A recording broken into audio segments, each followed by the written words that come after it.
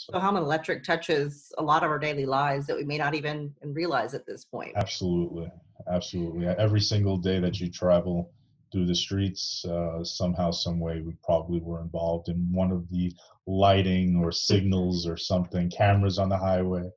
Yeah. So we're we're we're yeah we're we're pretty uh pretty spread out throughout New York City.